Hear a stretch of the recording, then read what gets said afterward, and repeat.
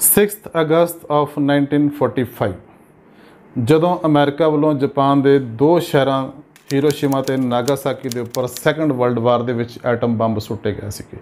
ਬਿਲਕੁਲ atom bomb ਸੁੱਟੇ ਜਾਣ ਦੇ ਪੂਰੇ 75 ਇਅਰਸ ਤੋਂ ਬਿਲਕੁਲ ਬਾਅਦ 4 ਅਗਸਤ 2020 ਨੂੰ ਲਗਭਗ ਇਸੇ ਤਰ੍ਹਾਂ ਦਾ ਹੀ ਧਮਾਕਾ ਲਿਬਨਾਨ ਦੇ ਸ਼ਹਿਰ ਬੈਰੂਤ ਦੇ ਵਿੱਚ ਹੁੰਦਾ। ਜਦੋਂ ਕਿ ਬੈਰੂਤ ਦੇ ਲੋਕ ਆਪਣੀ ਰੋਜ਼ ਦੀ ਜ਼ਿੰਦਗੀ ਦੇ ਵਿੱਚ ਬੜੇ ਮਸਰੂਫ ਸੀ, ਬੜੇ ਹੱਸ ਖੇਡ ਰਹੇ ਸੀ, ਆਪਣੇ ਘਰਾਂ ਵਿੱਚ ਹੱਸਦੇ ਵਸਦੇ ਸੀ ਤੇ ਇੱਕਦਮ ਉਹਨਾਂ ਦੀ ਜ਼ਿੰਦਗੀ ਦੇ ਵਿੱਚ ਇੱਕ ਭਿਆਨਕ ਤਬਾਹੀ ਆ ਜਾਂਦੀ ਹੈ ਉਸ ਤਬਾਹੀ ਦੇ ਵਿੱਚ ਸੈਂਕੜੇ ਲੋਕ ਮਾਰੇ ਜਾਂਦੇ ਆ, ਹਜ਼ਾਰਾਂ ਲੋਕ ਜਿਹੜੇ ਜ਼ਖਮੀ ਹੋ ਜਾਂਦੇ ਆ, ਲੱਖਾਂ ਲੋਕ ਜਿਹੜੇ ਉਹ ਬੇਘਰ ਹੋ ਜਾਂਦੇ ਨੇ ਤੇ ਮਿਲੀਅਨਸ ਆਫ ਡਾਲਰ ਦੀ ਪ੍ਰਾਪਰਟੀ ਬਿਲਕੁਲ ਨਸ਼ਟ ਹੋ ਜਾਂਦੀ ਆ।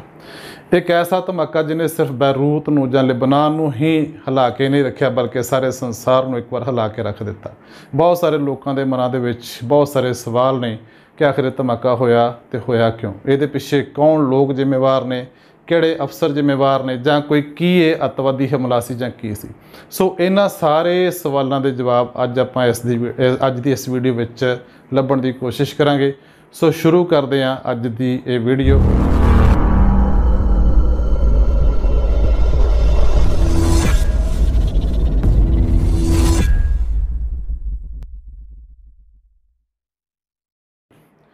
ਗੱਲ ਚੱਲਦੀ ਆ 2013 ਦੀ ਸਤੰਬਰ ਤੋਂ ਜਾਰਜੀਆ, ਜੋ ਕਿ ਰੂਸ ਦੇ ਲਾਗ-ਲਾਗ ਛੋਟਾ ਜਿਹਾ ਦੇਸ਼ ਆ। ਸਤੰਬਰ 2013 ਦੇ ਵਿੱਚ ਬੈਰੂਤ ਵਾਸੀਆਂ ਦੇ ਜ਼ਿੰਦਗੀ ਦੇ ਲੇਖ ਉਦੋਂ ਲਿਖੇ ਗਏ ਜਦੋਂ ਮੋਜ਼ਮਬੀਕ ਜੋ ਕਿ ਅਫਰੀਕਾ ਦਾ ਇੱਕ ਛੋਟਾ ਜਿਹਾ ਦੇਸ਼ ਆ ਮੋਜ਼ਮਬੀਕ ਦੇ ਵੱਲੋਂ ਅਮੋਨੀਅਮ ਨਾਈਟ੍ਰੇਟ ਨਾਂ ਦਾ ਕੈਮੀਕਲ ਮੰਗਵਾਉਣ ਦੇ ਲਈ ਜਾਰਜੀਆ ਦੇ ਇੱਕ ਵਪਾਰੀ ਨੂੰ ਆਰਡਰ ਕੀਤਾ ਗਿਆ।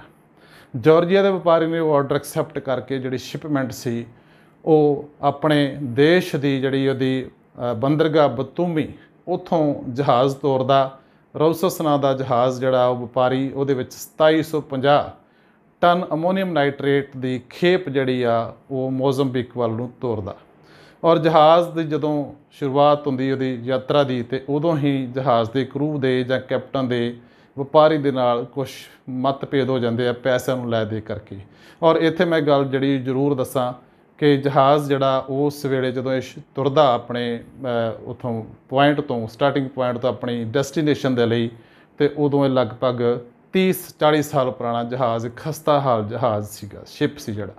ਸੋ ਇਹ ਜਹਾਜ਼ ਬਲੈਕ ਸੀ ਦੇ ਵਿੱਚੋਂ ਹੁੰਦਾ ਹੋਇਆ ਇਸਤੰਬੁਲ ਦੇ ਜਿਹੜਾ ਚੈਨਲ ਆ, ਉਧਰ ਦੀ ਲੰਘਦਾ ਹੋਇਆ, ਆਪਣੀ ਡੈਸਟੀਨੇਸ਼ਨ ਨੂੰ ਜਾਂਦਾ ਹੋਇਆ ਸਵੇਜ਼ ਨਹਿਰ ਦੇ ਵਿੱਚ ਐਂਟਰ ਕਰਨ ਦੇ ਜਿਹੜਾ ਐਂਟਰੀ ਪੁਆਇੰਟ ਆ, ਉੱਥੇ ਆ ਜਾਂਦਾ।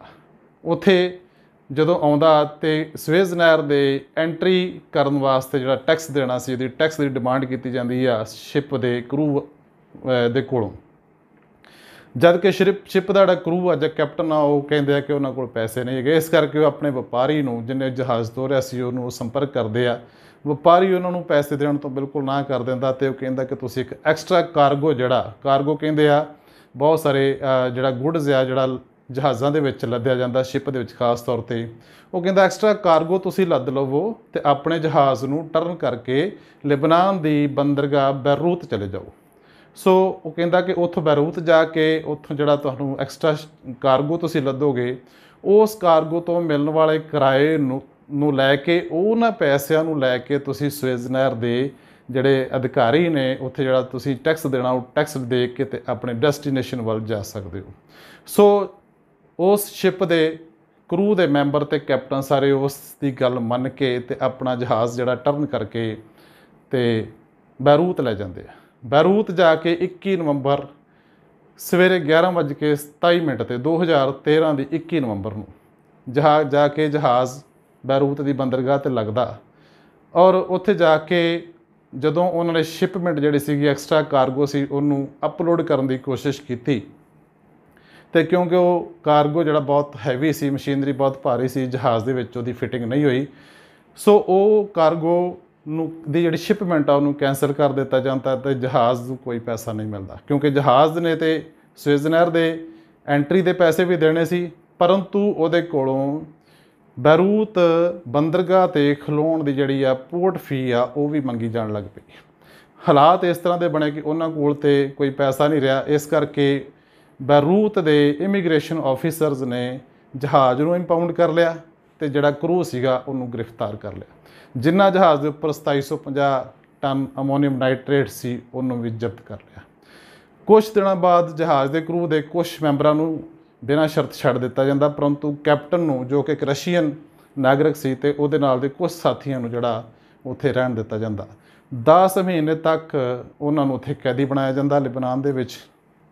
ਇਹਦੇ ਸਮੇਂ ਦੇ ਦਰਮਿਆਨ ਹੀ ਆਪਣੇ ਲਿਬਨਾਨ ਦੇ ਵਿੱਚ ਸਥਿਤ ਰਸ਼ੀਅਨ ਦੂਤਾਵਾਸ ਦੇ ਵਿੱਚ ਜਿਹੜਾ ਕੈਪਟਨ ਆ, ਉਹ ਸੰਪਰਕ ਕਰਦਾ ਰਸ਼ੀਆ ਦੇ ਰਾਸ਼ਟਰਪਤੀ ਦੇ ਨਾਲ, ਜਿੱਥੋਂ ਕਿ ਉਹਨੂੰ ਜਵਾਬ ਮਿਲ ਜਾਂਦਾ ਕਿ ਉਹ ਹੈਲਪ ਨਹੀਂ ਕਰ ਸਕਦੇ। ਸੋ ਅਖੀਰ ਉਹ ਕੀ ਕਰਦਾ ਕਿ ਆਪਣੇ ਸ਼ਿਪ ਦੇ ਵਿੱਚੋਂ ਫਿਊਲ ਕੱਢ ਕੇ ਵੇਚਦਾ ਤੇ ਵੇਚ ਕੇ ਜਿਹੜੇ ਪੈਸੇ ਵਟਦਾ, ਉਹਨਾਂ ਪੈਸਿਆਂ ਦੇ ਨਾਲ ਆਪਣੇ ਲਈ ਇੱਕ ਵਕੀਲ ਹਾਇਰ ਕਰਦਾ। ਉਹ ਵਕੀਲ 3 ਮਹੀਨੇ ਤੱਕ ਲਿਬਨਾਨ ਦੇ ਵਿੱਚ ਇਹਨਾਂ ਜਹਾਜ਼ ਦੇ ਕਰੂ ਦਾ ਤੇ ਕੈਪਟਨ ਦਾ ਕੇਸ ਲੜਦਾ। ਆਖਰ ਲਿਬਨਾਨ ਦੀ ਅਦਾਲਤ ਜਿਹੜੀ ਆ ਦਇਆ ਵਿਖਾਉਂਦੀ ਆ ਤੇ ਇਹਨਾਂ ਸਾਰਿਆਂ ਨੂੰ ਰਿਹਾ ਕਰ ਦਿੰਦੀ ਆ। ਪਰੰਤੂ ਇੱਕ ਸ਼ਰਤ ਤੇ ਰਿਹਾ ਕਰਦੀ ਹੈ ਕਿ ਜਹਾਜ਼ ਜਿਹੜਾ, ਉਹ ਵੀ ਜ਼ਬਤ ਰਵੇਗਾ ਤੇ ਜਹਾਜ਼ ਦਾ ਜਿਹੜਾ ਸਮਾਨ ਆ, ਜੋ ਉਹਦੇ ਤੇ ਲੱਦਿਆ ਆ, ਉਹ ਵੀ ਜ਼ਬਤ ਕੀਤਾ ਜਾਂਦਾ। ਸੋ ਜਾਣ ਲੱਗਿਆ BBC ਨਿਊਜ਼ ਦੇ ਪੱਤਰਕਾਰਾਂ ਨੂੰ ਜਿਹੜਾ ਕੈਪਟਨ ਹੈ ਉਹ ਦੱਸਦਾ ਕਿ ਉਹ ਜਾਣ ਲੱਗਿਆ ਆਪਣੀਆਂ ਚਾਬੀਆਂ ਇਮੀਗ੍ਰੇਸ਼ਨ ਆਫੀਸਰਸ ਨੂੰ ਦੇ ਕੇ ਜਾਂਦਾ ਉਹ ਸਾਰਾ ਕੁਝ ਦੇ ਕੇ ਆਪਣੇ ਦੇਸ਼ ਚਲਾ ਜਾਂਦਾ ਪਰੰਤੂ ਜਿਹੜਾ ਸ਼ਿਪ ਆ ਉਸ ਪੋਰਟ ਤੇ ਉਸ ਬੰਦਰਗਾਹ ਤੇ ਖਲੋਤਾ ਰਹਿੰਦਾ Чьи дал в immigration э, офицер э, в порту, который нас выпускал.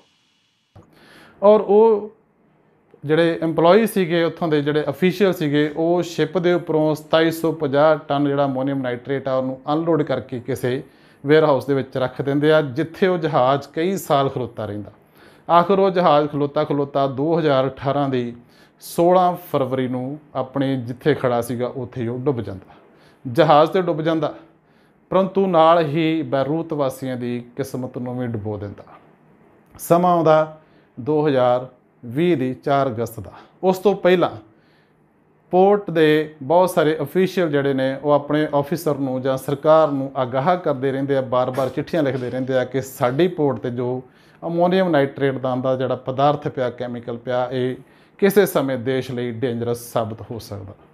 ਪਰੰਤੂ ਉਹਨਾਂ ਦੀ ਅਫੀਸ਼ੀਅਲ ਦੀ ਕੋਈ ਵੀ ਜਿਹੜੀ ਗੱਲ ਸਰਕਾਰੀ ਦਰਬਾਰੇ ਪ੍ਰਧਾਨ ਮੰਤਰੀ, ਮੁੱਖ ਮੰਤਰੀ, ਰਾਸ਼ਟਰਪਤੀ ਤੱਕ ਕਿਤੇ ਵੀ ਸੁਣੀ ਨਹੀਂ ਜਾਂਦੀ। ਇਸ ਕਰਕੇ ਉਹ ਸਟੋਰ ਜਿਹੜਾ ਹੋਇਆ ਹੋਇਆ, ਅਮੋਨੀਅਮ ਨਾਈਟ੍ਰੇਟ ਆ, ਉਹ ਬਹੁਤ ਸਾਰੇ ਸਾਲ ਸਟੋਰ ਹੋਇਆ ਸੀ, ਇਸ ਕਰਕੇ ਉਹਦੇ ਅੰਦਰ ਜਿਹੜਾ ਡੀਪ ਕੰਪੋਜ਼ ਹੋਣਾ ਸ਼ੁਰੂ ਹੋ ਗਿਆ ਤੇ ਰਸਾਵ ਸ਼ੁਰੂ ਹੋ ਗਿਆ। ਸੋ ਜਿਹੜੇ ਅਫੀਸ਼ੀਅਲ ਦੱਸਦੇ ਨੇ, ਜਿਹੜੇ ਮਾਹਿਰ ਦੱਸਦੇ ਨੇ ਕਿ ਜਦੋਂ 40 ਡਿਗਰੀ ਸੈਲਸੀਅਸ ਗ੍ਰੇਡ ਤੋਂ ਇਹਦਾ ਟੈਂਪਰੇਚਰ ਵੱਧ ਜਾਂਦਾ ਤੇ ਉਦੋਂ ਡੇਂਜਰਸ ਸਾਬਤ ਹੋ ਸਕਦਾ। ਸੋ 4 ਅਗਸਤ 2020 ਨੂੰ ਇਹ ਬਿਲਕੁਲ ਡੇਂਜਰਸ ਸਾਬਤ ਹੋਇਆ। ਇਹਦੇ ਅੰਦਰ ਇੱਕ ਬਹੁਤ ਵੱਡਾ ਵਿਸਫੋਟ ਹੋਇਆ। ਸਾਰਾ ਅਮੋਨੀਅਮ ਨਾਈਟ੍ਰੇਟ ਦਾ ਹੀ ਵਿਸਫੋਟ ਸੀ, ਜਿਹੜਾ ਲੋਕਾਂ ਨੂੰ ਇੰਜ ਲੱਗਾ ਕਿ ਇਹ ਸ਼ਾਇਦ ਐਟਮ ਬੰਬ ਵਰਗਾ ਹੀ ਇੱਕ ਧਮਾਕਾ ਸੀ। ਸੋ ਉਸ ਵਿਸ- ਵਿਸਫੋਟ ਦੇ ਨਾਲ ਬਹੁਤ ਸਾਰੇ ਲੋਕ ਜਿਹੜੇ ਆ, ਉਹ ਮਾਰੇ ਜਾਂਦੇ ਆ। ਬਹੁਤ ਸਾਰੇ ਜਿਹੜਾ ਤਬਾਹੀ ਦਾ ਮੰਜ਼ਰ ਜਿਹੜਾ ਉੱਥੇ ਪੈਦਾ ਹੋ ਜਾਂਦਾ। ਸੋ ਇਹ ਇੱਕ ਲਾਪਰਵਾਹੀ ਦੀ ਕਹਾਣੀ ਸੀ, ਜਿਹੜੀ ਯੂਅਰ ਅਕੈਡਮੀ ਚੈਨਲ ਵੱਲੋਂ ਇਹ ਸੋਚਿਆ ਗਿਆ ਕਿ ਸਾਰੇ ਤੁਹਾਨੂੰ ਜਿੰਨੇ ਵੀ ਸਾਡੇ ਨਾਲ ਸਟੂਡੈਂਟਸ ਜੁੜੇ ਨੇ, ਉਹਨਾਂ ਨੂੰ ਇਸ ਘਟਨਾ ਦੀ ਪਿਛਲੀ ਜਾਣਕਾਰੀ ਜਿਹੜੀ ਉਹ ਜ਼ਰੂਰ ਦਿੱਤੀ ਜਾਵੇ। ਆਸ ਕਰਦੇ ਹਾਂ ਕਿ ਤੁਹ- ਤੁਸੀਂ ਸਾਡੇ ਵੱਲੋਂ ਦਿੱਤੀ ਗਈ ਜਾਣਕਾਰੀ ਤੋਂ ਪੂਰੇ ਸੰਤੁਸ਼ਟ ਹੋਵੋਗੇ। ਜੇਕਰ ਤੁਹਾਨੂੰ ਅੱਜ ਦਾ ਸਾਡਾ ਵੀਡੀਓ ਲੈਕਚਰ ਠੀਕ ਲੱਗਾ ਲਾਈਕ ਸ਼ੇਅਰ ਤੇ ਕਮੈਂਟ ਜ਼ਰੂਰ ਕਰਿਓ। Thank you so much